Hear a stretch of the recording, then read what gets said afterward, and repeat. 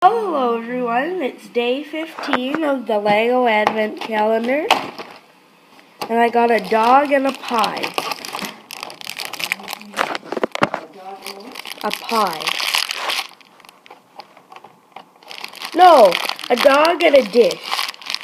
Oh, dog dish.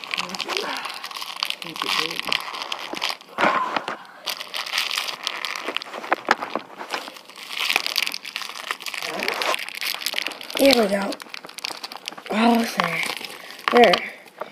So you just put the bones in the dish, Let me see. and then the dog goes num num num. Let me see. So we'll see you later.